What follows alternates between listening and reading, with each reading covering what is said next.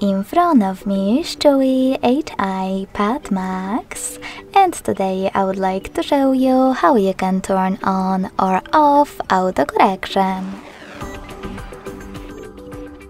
You need to begin by opening devices settings and scrolling all the way down to access system. Now select languages and input on-screen keyboard and Gboard. Finally, just click on text correction, scroll down and hit this switcher next to autocorrection. This way you will switch it off or on.